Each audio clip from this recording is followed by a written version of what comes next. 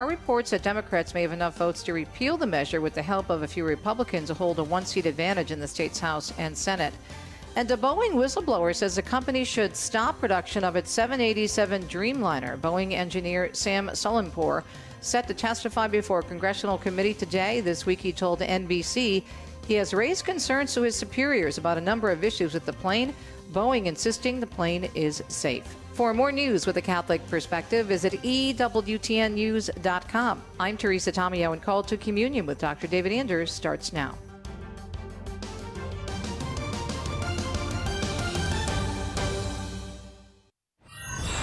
What's stopping you from becoming a Catholic? Why can't women become priests? 1 288 EWTN. I don't understand why I have to earn salvation. 1 288 3986. What's stopping Why do I need to confess my sins to a priest? What's stopping you? This is Called to Communion with Dr. David Anders on the EWTN Global Catholic Radio Network. Hey, tremendous! What a, it's Wednesday. My head is spinning. My head is spinning, Dr. David Anders, as we're finally back live this week with you today. We've had some uh, major equipment upgrades in the EWTN radio department, and uh, we are we are trying to get the upgrades under control. So is this is this the first live show we've done with the upgrades? It is not. It's not. Okay. No. Okay. Women of Grace this morning was oh, the first live any show. hiccups?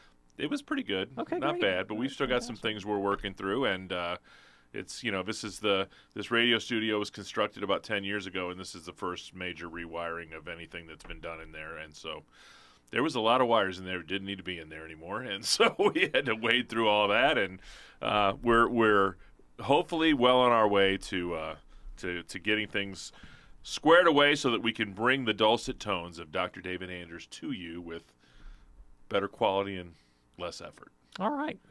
Got an email here. He says, Hello, I'm Wen, a new listener from Taiwan. We are currently raising funds to rebuild a church that burned down a few years ago. One of the people I met asked me, Why don't you just ask the Vatican for money? They're very rich, right? And I couldn't answer him. Can you please help me respond? Um, sure. The Vatican's not that rich. Right. To put, to put a, like not to put too fine a point on it. So the, the Vatican does have a, uh, a charitable arm, if you will. I think it's called Cor Unum. Is their is their like social service wing, and they will contribute to say disaster relief efforts around the world, and they they put some money into that. But there's a finite amount to go around and and the, a lot of people think that the church is kind of like a, an American corporation with the Pope as CEO over a you know sort of single organizational body. That's actually not the way the church conceives of itself, nor is it the way the church is practically structured. Um, it's more like a an extended family with uh, with the Pope as the patriarch, and that actually is one of his titles, right, patriarch and uh, and bishops as uh, you know as so many well you know bosses of their own jurisdictions that are that are autonomous essentially from a from certainly from a financial point of view but to but to a certain extent from a governmental point of view as well we're all part of one family and there is a there is a, a, a primacy within that family but within that family there's a family of families and those subordinate entities have their own autonomy and integrity and, and bishops are legitimate um, uh, ordinaries, authorities over their own diocese, and they don't they don't get that authority directly from the Pope. He he appoints them to that position, but they have the authority as successors to the apostles, and they have it in their own right as successors to the apostles. And then the priests work as their collaborators, and the and the priests are to the parishes what what uh, what bishops are to their diocese. And so, um, you know, at the individual parish level, uh, you know, parishes have to have to kind of make it on their own. If they don't, if they can't survive indefinitely on their own as parishes, they'll cease to function as parishes, and the diocese will absorb that property or redistribute it to other to other institutions. And the the church is just way, way, way, way, way too big uh, for for you know one governing body to handle the financial costs of the entire thing. And most most dioceses around the world, most parishes around the world, don't have that much money. Uh, it's kind of a myth that the Catholic Church as a collective is just rolling in dough. I mean, the, the, the general state of Catholic ministries around the world is one of, uh, of never having enough money to do what they need to do. You know, we're creatures of habit. I know I am. And if I start to get out of my routines, I got a problem. And I started talking about all of our wonderful upgrades here at the beginning of the program, and I forgot to go through my normal informational diatribe. Yeah, well, let's have the diatribe. The diatribe is thanks for tuning in to EWTN's Call to Communion with Dr. David Anders. Oh, yeah. If they'd like to be part of the program, if they would like to talk to you the way I have the great privilege of doing, all they have to do is pick up the phone and give us a call at 833 288 EWTN. That's 833 288 3986. If you're outside the United States and Canada, we'd still love to talk to you. That number is 1 205 271 2985, and we will even put you straight to the front of the line at 1 205 271 2985. And you can always send us an email. Email address is openline at EWTN.com. And we've had the triumphant return of texting. You can text your question to Dr. Anders. Simply text the letters EWTN to 58177. Wait for our response, then text us your first name and your brief question, and message and data rates in that situation may apply. I'm Jack Williams, Charles Beery producing the program. Matt Gubensky is your call screener. And I think that uh, Rich Jesse is handling our social media efforts. Or uh, that doesn't help me, Charles.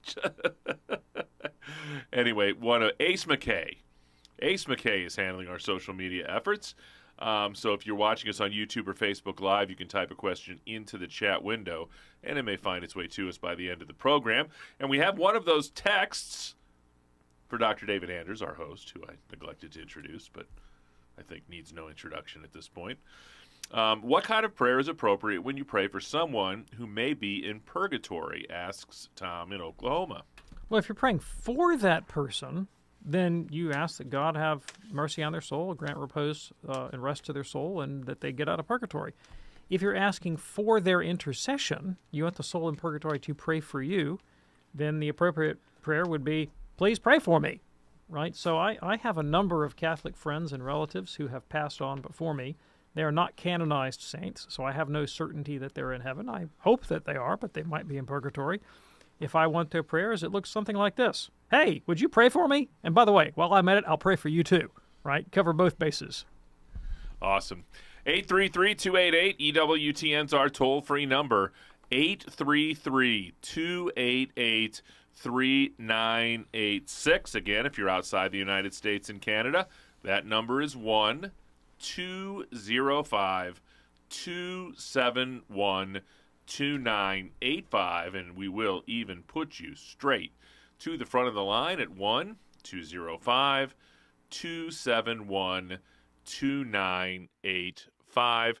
And texting is back. Text the letters EWTN to 58177. Wait for our response, and then just text us your first name and a brief question, and we would be happy to try to get that on the air for you. It's EWTN's Call to Communion with Dr. David Anders.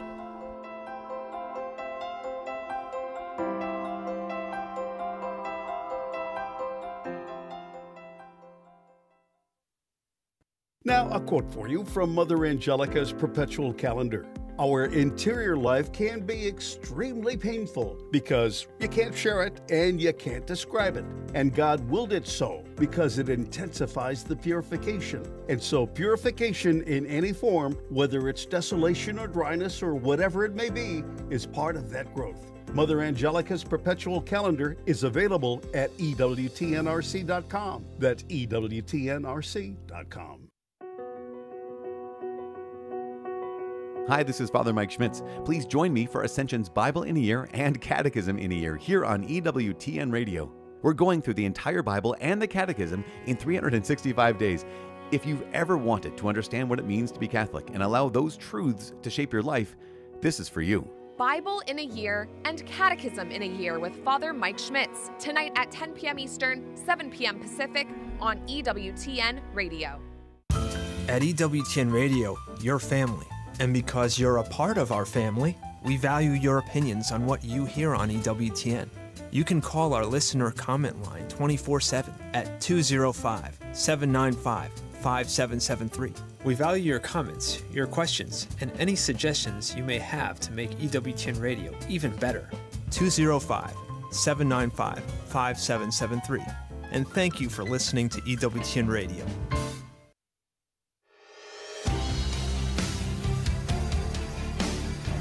NBA.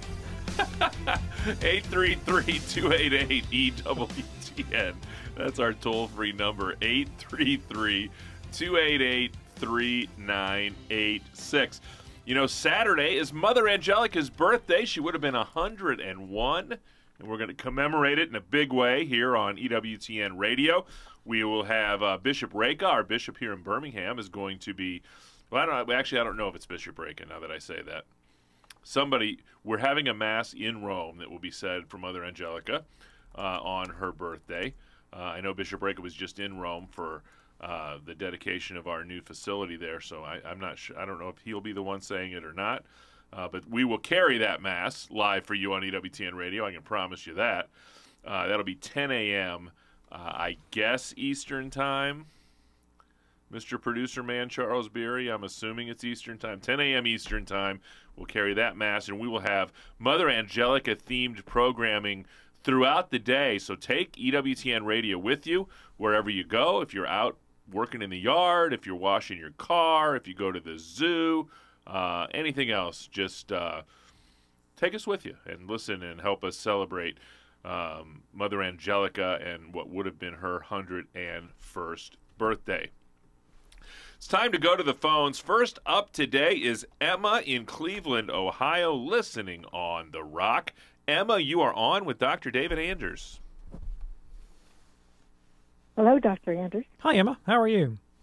I am fine. And yourself? Doing great. Doing fine, thanks. Good. I have a question for you. I have a relative who calls herself a Buddhist Presbyterian. Can you explain what that is? Probably. Probably. Uh, obviously, there is no there's no institution that I'm aware of, no denomination called the Buddhist Presbyterian Church. You're not going to go and find like the first Buddhist Presbyterian Church of Cleveland, for example. Um, but uh, what I what I know of Protestant culture and and uh, and and the pop culture of religion, I have a kind of intuition about what that person means. I think that person is probably a practicing Presbyterian who attends a Presbyterian church um, and uh, and you know probably believes a lot of Presbyterian doctrine as it's presented in her church, but alongside that has developed an affinity for what she takes to be Buddhism, and uh, and seeks to integrate some Buddhist ideas and or Buddhist practices into her into her spirituality. And that that kind of syncretism, that sort of blending of religious traditions, is very very common. It's common throughout history. It's common in uh, in the modern world. And one of the things that I've noticed, uh, and I'm sure you've noticed it as well, is that, that Buddhism has become a, a, real pop culture phenomenon. And, uh, you know, there are certain, um, let us say, environmentally friendly, health conscious, large grocery store chains. I have one in mind in particular. Uh, and if you if you walk into this grocery store, um, uh, you know you're going to find say, uh, meditation calendars for sale that'll have images of the Buddha or of uh, people sitting in lotus position. Uh, th- uh, th- this this kind of sort of marketing push to promote Easternism, Eastern spirituality, Buddhist spirituality is kind of everywhere you turn. You watch popular television programs and characters uh, attain mystic powers through meditation. This this sort of thing started maybe you know 50 years ago. I don't know if you remember the um, uh, the old 70s show Kung Fu, you know, the kind of uh, uh, um, valorization of, um, of Eastern uh, of Eastern spirituality as, as a kind of repository of, uh, of superpowers. I remember I was caught up in that as a small child. It's what inspired me want to take martial arts. I thought anybody that could do karate was uh, was a superhero because that's the way they were always presented in the media.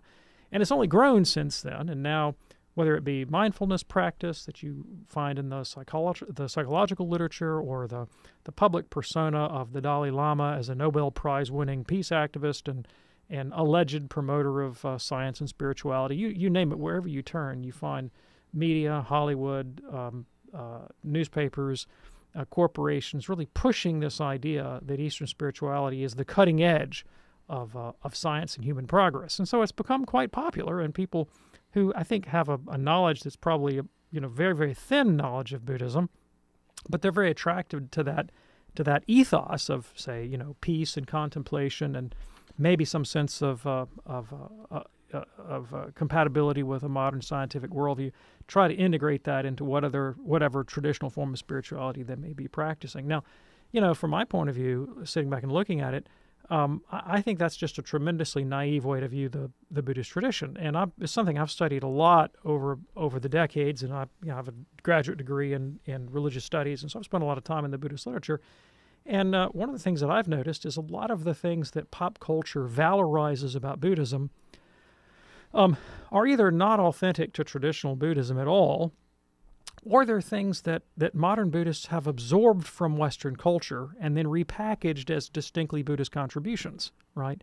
So there's a there's a phenomenon in Buddhist studies called Buddhist modernism. Sometimes it's called Protestant Buddhism, but unrelated to your friend's Buddhism, and it's a it's a it's a kind of uh, uniquely modern uh, development where traditionally Buddhist cultures, when they came into contact with Western society, deliberately tried to craft their presentation of their own native religion to assimilate modern Western values, be those, you know, scientific or human rights, these kinds of issues, which were basically Western themes, were incorporated into Buddhist apologetical texts in the 20th century and then sold back to the West as if they were authentically Buddhist contributions.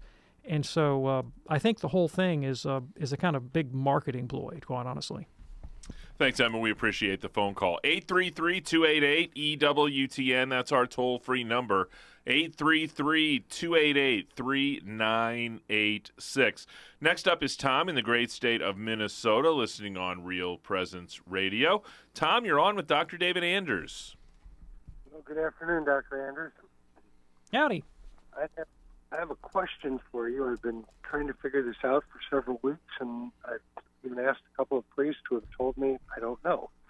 Um, in the Bible, we find several places where we are we are called to work. Um, but are we called in the Bible or by God hire? Uh, to, And okay, the on- go ahead. I'm sorry. The only place I could find anything that references this is Numbers uh, in the book of Numbers eight twenty three through twenty six, and it says to work in the uh, tent of service, uh, the tent of meeting between the age of twenty five and fifty, and then you're to retire from work. However, that's very specifically saying for the Levites, and we are not Levites. So, are we called to retire, or is this a secular thing? Yeah, thanks. I really appreciate the question. So uh, there is a passage in First Timothy chapter five where Paul, Saint Paul, makes provisions specifically for uh, widows who are over the age of sixty, and that's the cutoff. There is women over the age of sixty who are widows are to be enrolled in a kind of social service program where the church cares for their temporal needs. Um, and uh, in the same text, there's a general admonition not to despise the elderly, not to rebuke an older man, but to encourage them. And then there are a lot of passages of Scripture that talk about care for the elderly. They don't necessarily use the concept of retirement, and they don't necessarily link it to the old person's inability to work. But I mean, that seems kind of obvious that if you beyond a certain age, physical work becomes very difficult, nigh to impossible. And there's an admonition that you are to um, that you're to that you're to care for such people and not let them fall through the cracks. In terms of the sort of the modern institution of retirement, where you you know you work up to age 65 or whatever, and then go on your 401b plan. Uh, no, obviously the economic model of modernity is very different from anything that existed in the first century. Um, now that's that's different. Um, you know, to say, well, can we find all our economic models accurately reflected in the Bible? And if we can't, does that mean there's no warrant for them? I think that would be to fall into the trap of uh, of the Protestant doctrine of the Bible, the idea that the Bible is there to give us a comprehensive answer to all questions about policy or morality or Christian theology, and that's that's clearly not the case. The Bible doesn't function that way. It doesn't have that role in Christian life. Um, the Bible has a role in Christian life. It gives us an, an inspired account of the teaching of the apostles and of Christ and the prophets and so forth, and and uh, and and it's there to encourage and to edify, but it's not there to answer every question we might have. Uh, e- even less so is it there to give us a comprehensive account of Christian uh, economic policy. And for that, we actually do have the guidance of the magisterium of the Catholic Church. And so, since Pope Leo XIII, uh, the popes have developed a rather extensive body of literature in what is called the Church's social doctrine that ad- addresses, among other things, things like personal savement, savings and retirement. So there is church teaching on this topic that's not limited to the content of the Bible, but the principles of taking care of the elderly and the recognitions that you get beyond a certain age you can't work uh, that's also scriptural.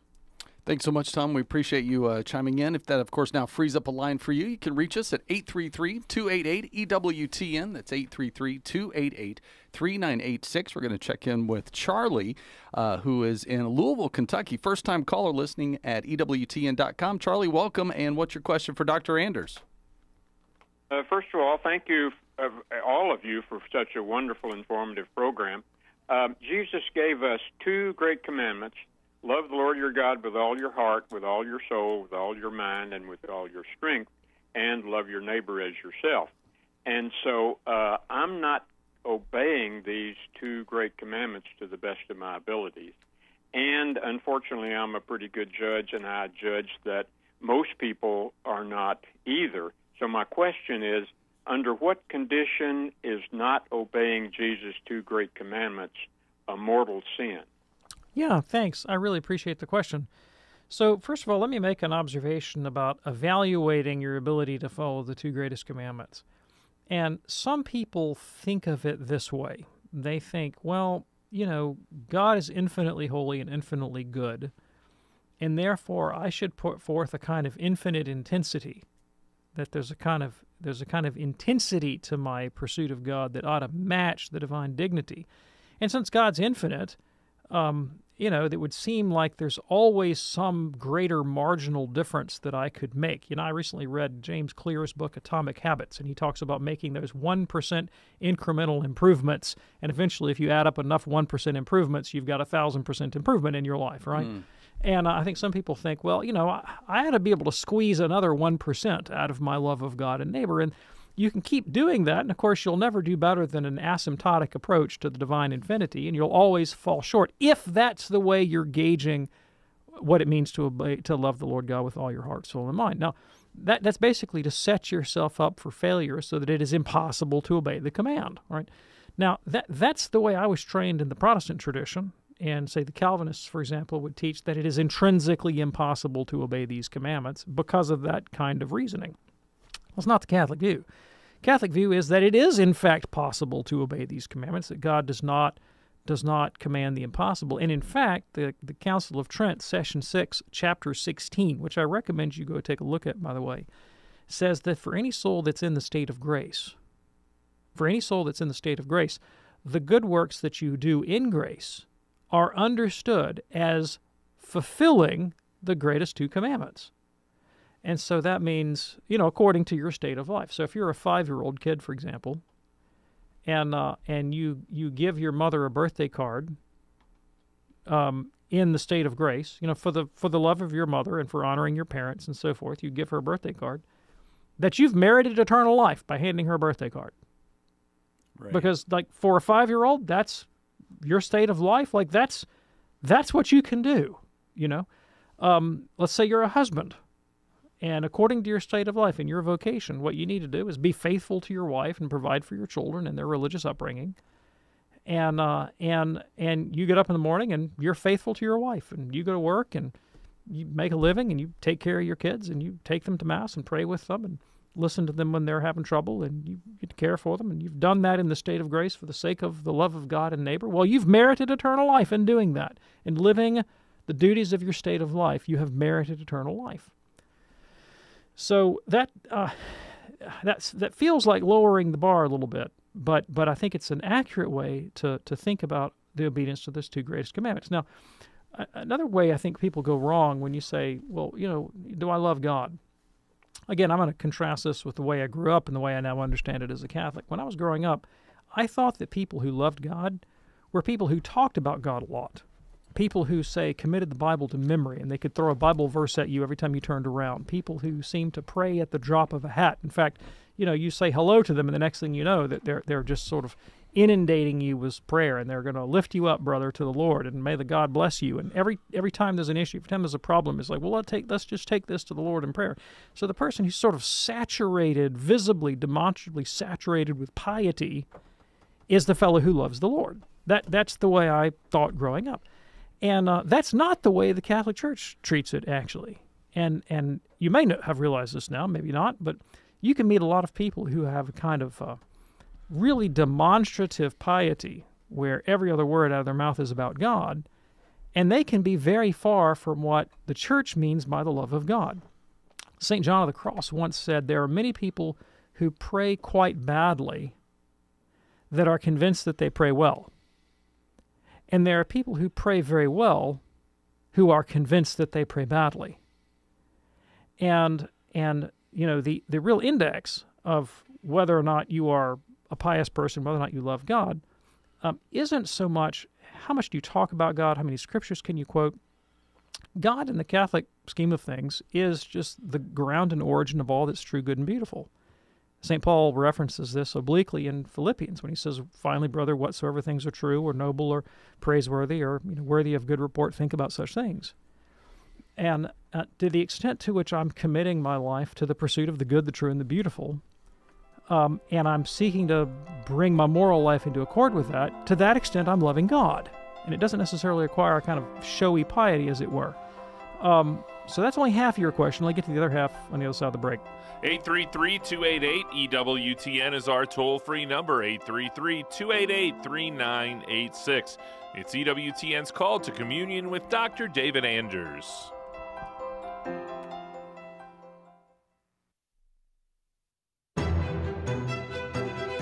proclaiming the faith, changing lives. The year was 2011. EWTN launches a new television network in Germany that will air Catholic programming 24 hours a day on one of the world's largest providers of direct to home satellite services. To learn more about Mother Angelica's life and the history of EWTN, visit EWTN.com slash Mother Angelica. Hi, I'm Al Kresta. Join me for a daily conversation about the things that matter most on Kresta in the afternoon. This afternoon, 4 Eastern on EWTN Radio. This is a digital moment with Sandra McDevitt. Did you know making a garden dedicated to Our Lady is a very old tradition? The first recorded garden dedicated to the Blessed Mother was by St. Fiacre in the 7th century. During medieval times, plants and flowers were named after a certain aspect of our Lord or Our Lady. Here are a few for Our Lady Baby's Breath, Our Lady's Veil. Columbine, Our Lady's Slippers. Bleeding Heart, Mary's Heart. Forget Me Not, Our Lady's Eyes. Foxglove, Our Lady's Gloves. Lily of the Valley, Our Lady's Tears. And Impatiens, Our Lady's Earrings. Lots of information on the internet or library to get started. A small Mary statue, your yard, or planter boxes is all you need. Time to start planting your Mary garden and make it a family tradition. I'm Sandra McDevitt for EWTN Radio. EWTN. On the next More to Life, Love Loss. Are you having a hard time loving someone or feeling loved by them? Let us help. That's on the next More to Life. Now back to Call to Communion with Dr. David Anders.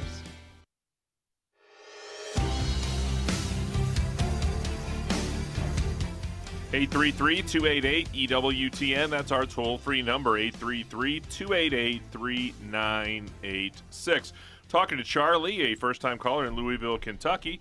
Uh, Dr. Anders, you got through about half of it. Yep. So his question was what does it mean to love God and your neighbor? And then how far short of that can I fall without imperiling my soul? And so the first half of the break, before the break, I was saying, look, you know, the church says that it's possible to do this. Anything you do, any good deed you do, according to your vocation, your state of life, uh, you're understood to have been loving God and loving neighbor appropriately. So it's not out of reach for Catholic people, and you shouldn't judge it as a kind of sort of maximal intensity, as if you always had to hit, you know, had to had to make a personal best every time you went to the spiritual gym. You know, the way you would gauge your progress in uh, athletic performance. It's not to be viewed that way. It's not sort of the intensity of the output that measures it. it really is, you know, is the orientation of your life towards the good, the true, and the beautiful to do the rational good for yourself and others as a human person according to your state of life. That's the way you gauge love of God and neighbor. The question, how far off the mark can I be without being in the state of mortal sin?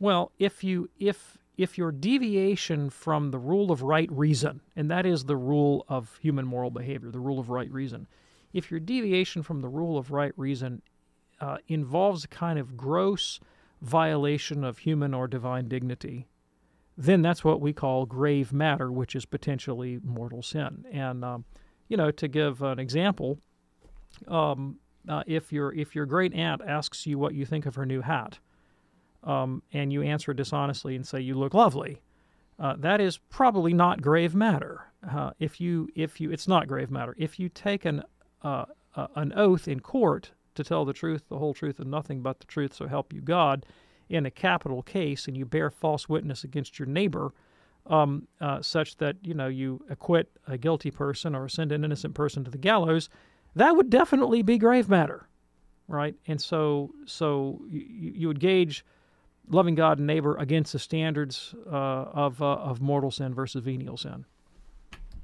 833-288-EWTN. That's our toll-free number. Russ is in the great state of Delaware listening on Sirius XM channel 130. Russ, you're on with Dr. David Anders. Uh, Dr. Hyde, this uh, the, the reason I called, there's two things that I'm really confused about. Uh, at my age, probably more than that. But at any rate, uh, on the Shroud of Turin, um, 30 uh, um, scientists said uh, this is a fraud, yet they can't figure where the image came from. And uh, there's been some surveys done with the pollen that dated, dated all the way back to Christ. And I know they took the samples from an area that was destroyed by fire, but um, that I was just wondering, um, is there any validity in that? That, that it, it's that this relic is really true, and then the other one is on about the Lady of Guadalupe, um, where 90,000 um, people uh, had a, or Indians converted to Catholicism. Yet, uh, and, I, and when I checked with uh, Catholic Answer, that comes out. But then all at once Google pops in and says, uh, "No, Cortez made the 90,000. They he Okay, sure. I, I, can speak to both of those questions. All right. So um, uh, here at EWTN, you will find a lot of people who are uh, very interested in the Shroud of Turin and believe in its authenticity, and a lot more people who are really interested in Our Lady of Guadalupe and obviously are, are very committed to the hi- historical truth of the narratives surrounding those apparitions. Um, that being said, a Catholic is not obligated to hold any particular opinion about either of those things because neither one of them is the subject of Catholic dogma. And so the the one thing that a Catholic absolutely must hold as an article as faith with the supernatural virtue of faith are the dogmas of the Catholic faith. Those things the Catholic faith has put forth as public revelation taught by Jesus and the apostles. And since Jesus and the apostles had nothing to say about Marian apparitions that happened after the ascension of Christ, or about the Shroud of Turin, those are matters of theological opinion, and Catholics may legitimately hold different points of view. Um, even if some point of view is very popular and predominant, a Catholic's not obligated to hold it. And I, I tell you that because um, you you ought to do the investigation for yourself and feel utterly at ease in your mind in going where the evidence leads you, right? Because Catholics have a very healthy respect for human reason and believe that faith and reason can always be reconciled. And sometimes that means that the position that is, you know, we might say the faith point of view, if you will, um, the supernaturalist point of view, eh, has pride of place, and we and we realize that we've made a mistake in our human reason. Other times we may make a mistake in our theology, and some discovery in natural science or natural reason shows us that we've made a mistake in our theological reasoning, and we accommodate that to the science. And an example would be the Galileo affair, when uh, most Catholics in the 16th century would have believed that uh, that the sun went around the earth, they believed that because of the authority of Aristotle, but also because of what they thought Scripture taught. And uh, when Galileo came around and argued for the Copernican hypothesis, um, Cardinal Bellarmine, who was the chief Vatican theologian at the time, said, Well, I think you're wrong, and I think Scripture says you're wrong, but if you can show me from the science, you can show me empirically that the earth goes around the sun, then obviously I've made a mistake in the way I was interpreting the Bible. Because the Bible's not going to contradict science. It was me who made the mistake, not the Bible. Is the way I'd interpret it that was wrong, and I'll go back and I'll reinterpret accordingly. That's an and, and of course, church did that. I mean, eventually, hundred years later, Galileo's hypothesis had been verified by empirical observation, and the church said, "Oh yeah, okay, I guess I guess we read Genesis the wrong way, right?" And that's always the Catholic's disposition. It's not to say the science or the reason or the evidence are just flat out wrong because the Bible says so. It's to say, let me let me go where the evidence leads, whether it be the biblical evidence, uh, the evidence of divine revelation, or the evidence of natural reason, and then do my dead little best to reconcile those. And the whole time, I'm utterly at peace. Like, I don't care where the cards fall because I trust that God is the God of nature and revelation. You see, so whatever whatever is true is true, and I'm good with truth. I'm not threatened by truth wherever it might be found. So whenever you have these kinds of questions, do the research. You read the experts. I'm not an expert in these issues. You're probably not either. Uh, read different points of view, read different scholars, read Catholic scholars, read non Catholic scholars. You follow the evidence to the best of your ability and then be at peace in your mind. And so, I'm personally, because I'm not uh, an expert in the relevant sciences, I can't tell you. I mean, I, I, I, can tell you people who will give you arguments. And so, Father Robert Spitzer, who is a host on EWTN and a pretty eminent uh, thinker, has done a lot of work on the authenticity of the Shroud of Turin. And if you want a very compelling argument for its authenticity, then look up Father Robert Spitzer, some of the stuff he's done from the network and in other places, and you will find a compelling argument for the authenticity of Father Spitzer. But I think Father Spitzer himself would be the first person to tell you um, it's okay to read competing points of view and weigh those as well, and then you can make up your mind. 833 288 EWTN. That's our toll free number, 833 288 3986. Great new book from EWTN Publishing for the month of April Spiritual Lightning. And, excuse me, answering your call from Jesus to master his values by Deacon Richard Eason, who was on campus uh, a couple weeks ago. Uh, St. Paul was struck down by divine power from a bolt of spiritual lightning. In our own lives, we also experience moments of spiritual lightning, whether subtly, dramatically, or circumstantially. Uh, through this uh, book of his personal anecdotes and uh, some inspiring stories, uh, the deacon reveals how to develop strength and courage during times of suffering and ways to obtain healing, and he shows you how to garner the benefits of autopilot faith and develop trust in God through prayer, leading to positive transformation, spiritual tranquility, and increased joy and happiness. Great new book, Spiritual Lightning, answering your call from Jesus to master his values by Deacon Richard Eason, available now at EWTN's religious catalog by Catholic Shop, EWTNRC.com. John is up next, a first time caller in Austin, Texas, listening on the EWTN app. John, thanks for holding. Welcome to the program. Yes, good afternoon. Um, Dr. Anders, I was um, very interested in your take on, on, my situation as a lifelong Protestant um, for now six, five or six decades.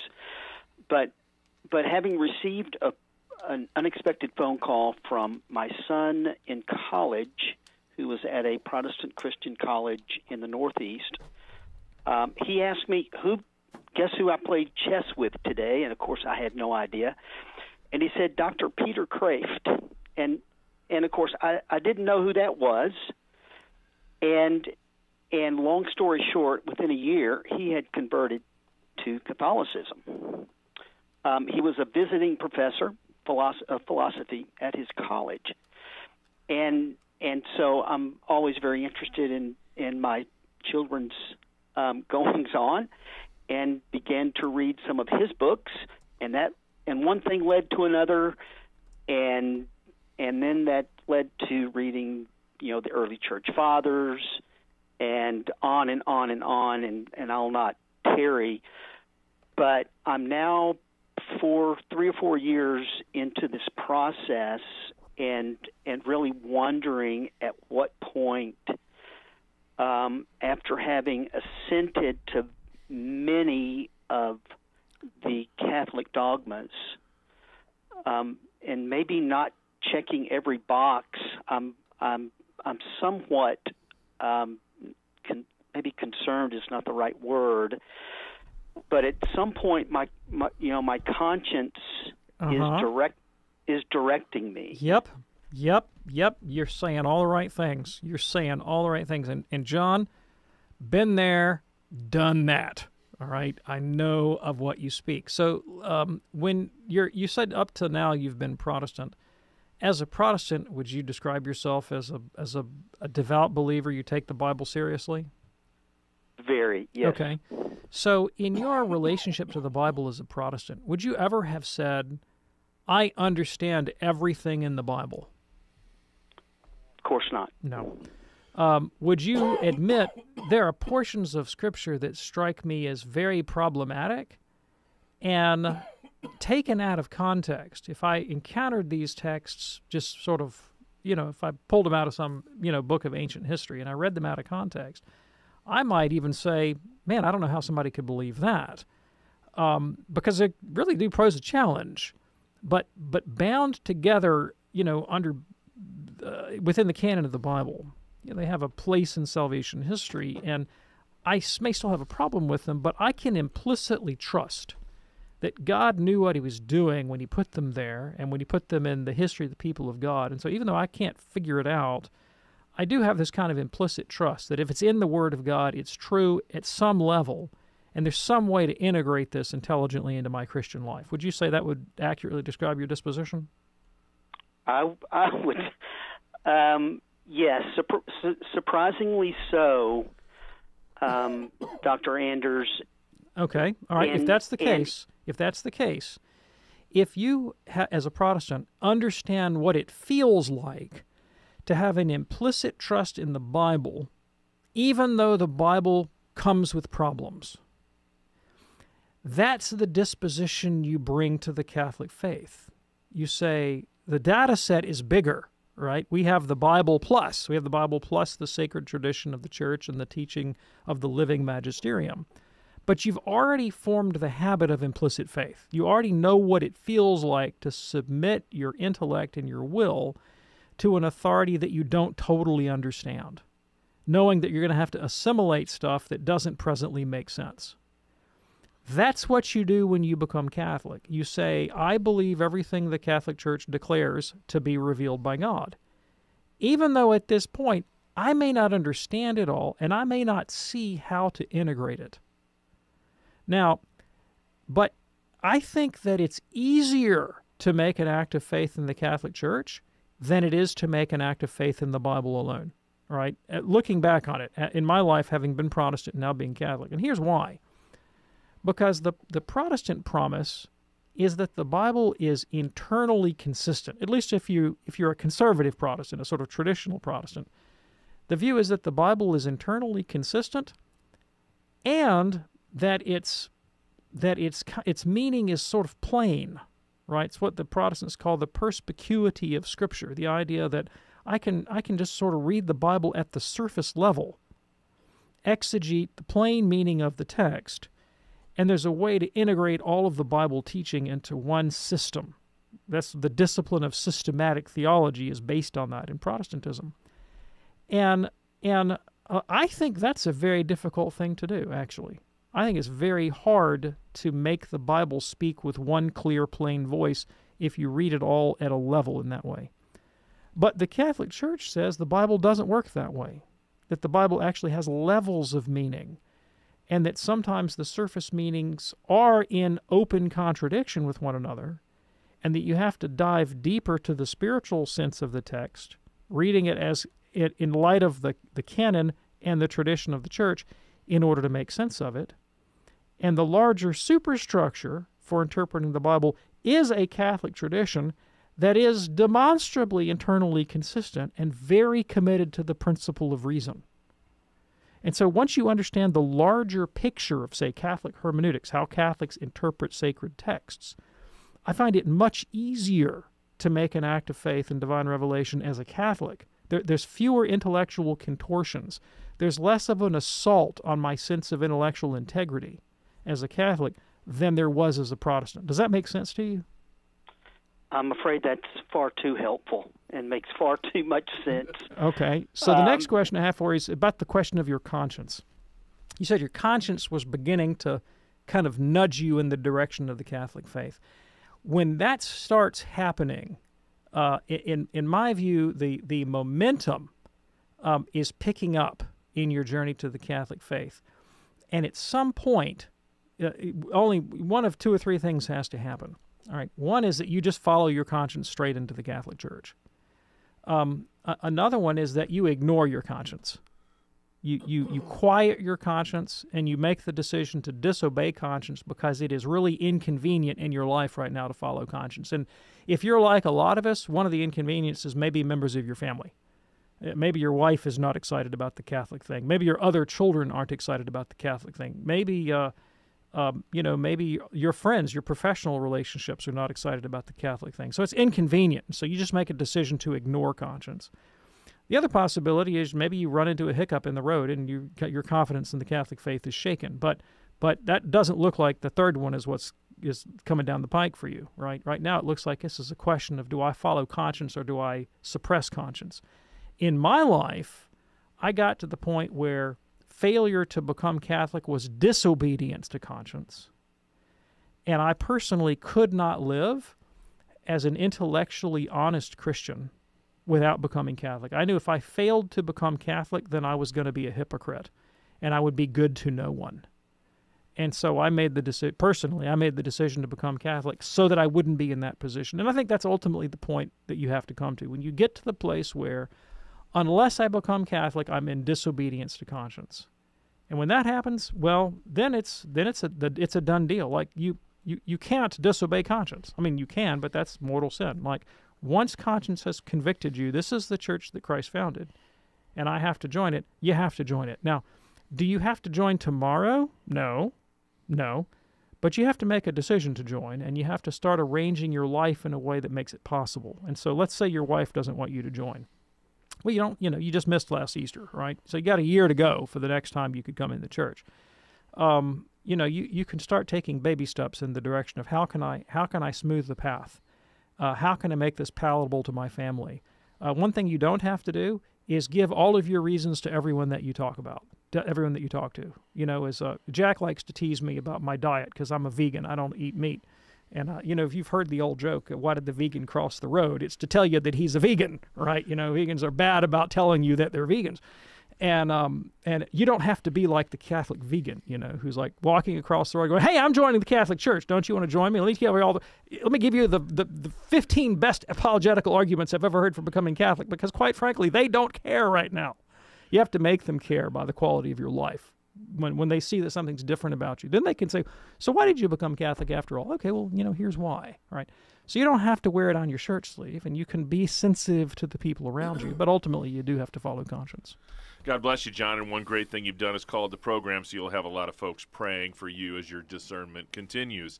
833 288 EWTN's our toll free number. Sharon is in Seattle, Washington, listening on Sacred Heart Radio. Sharon, you're on with Dr. Anders.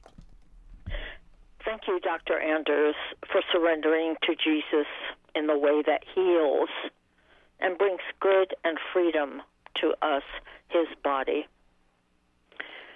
The question that I have for you is from Scripture, which I never understood, and I do not know the reference. However, it's a scripture that says we, as Christians, are to inform the powers and princip- principalities on high. And the question is, what are we to inform them of? Because my assumption is that they are already informed. Can you address that, please? Yeah, sure, sure. So, so throughout the writings of Saint Paul, in particular, and also to a certain extent of Saint Peter in his epistles, um, we see a picture of a of a cosmos in conflict, not just humans against humans, but of spiritual forces and powers in the heavenly realms that are locked in uh, that are locked in combat. And Christ, of course, has defeated the malicious powers of the enemy and the spirits of the air and the demons and so forth. And uh, there's a lot in Scripture that that suggests that Christ's triumph of, uh, at the cross was not only a triumph against the uh, the existential state of sin and guilt, but against active antagonistic forces. That it was a defeat of actual powers and principalities, defeat of demonic forces, and that the triumph of the vic- of the Christian Church is a kind of victorious display, and uh, the the image that comes to mind is you know if you're a Roman emperor and you you're you know you you you wage a campaign against the Mediterranean pirates or against the barbarians or something when you conquered your enemies what you would do is you'd go out and uh, and uh, put them in chains and lead them in a triumphal uh, procession through the city of Rome. And so you'd come back literally with your enemies dragged behind you in chains and the the crowds in Rome would, would cheer as they saw their you know their their uh, their traditional enemies being humiliated. That's the picture we get in Scripture of what Christ has done to the powers. And and uh, the the irony is that the persecution of the apostles, and this is Paul's language, his own his own humiliation, is part of this triumphal assembly, but procession, because Jesus' death, it was Christ's passion that was the victory over the evil powers and by joining himself to the shape of Christ's cruciform life, by imitating Christ in his sufferings and being subject to persecution, Paul himself is putting on display the power of the gospel to the defeat of the enemies. And, uh, you know, th- th- this plays out in an interesting way in, in salvation history. In the Old Testament, the idea of victory over enemies is absolutely endemic. So when God promises Abraham that he's going to have a great nation come forth from him, part of the promise is, and your progeny will occupy the cities of their enemies. Um, when uh, when Moses leads the people out in the Exodus, it's through a, a military defeat of the Egyptian army. Uh, when David receives the promise of an eternal kingdom, God promises to give him rest from his enemies on all sides um, the prophets, like Ezekiel, when they look forward to the kingdom of God and the return from the exile, specifically talk about God uh, overthrowing horse and rider and throwing them into confusion. So the military theme is is very pronounced. Um, in the New Testament, it shifts, and it's no longer the uh, the military conquest of human enemies. It is the conquest of principalities and powers. Now, here's the interesting connection. In the Old Testament, um, the the gods of the nations are understood as being demonic hordes. And, and that connection is made explicitly in the Greek Old Testament, the, uh, the Septuagint. They're called demons. And so the idea is sort of if you defeat the demons, the gods of the nations, you kind of get the people and the land to boot. And the way it actually turned out in history was that by converting people to the Christian faith, right? By by actually making converts and and causing people to renounce their ancestral gods, that that territorial nations were actually brought within the Christian fold. And so you didn't actually have to wage a military warfare to see the lion lie down with the lamb. Some of those prophetic expectations of, say, like temporal peace, not all of them, but some of them, were actually fulfilled through spiritual means. And so the conquest of principalities and powers wasn't a mere abstraction, wasn't a kind of just a plain superstition. It actually had real consequences at the human societal level. Thanks so much, Sharon. We appreciate that phone call. We have run flat out of time today. Uh, Renee, if you'd like to hold on the line, Father Mitch Pacwa's going to be in the house shortly. We'd be happy to take your phone call then. Otherwise, give us a call back at another time. Uh, we do this program Monday through Friday every day at 2 p.m. Eastern Time with Dr. David Anders. And on behalf of Dr. Anders, our producer Charles Beery, our call screener Matt Gubensky, and our social media maven Mr. Ace McKay. I'm Jack Williams sitting in today for Tom Price. Thanks so much for tuning in. We are back at it again tomorrow, same time, same channel, right here at 2 p.m. Eastern Time on EWTN's Called to Communion with Dr. David Anders. God bless.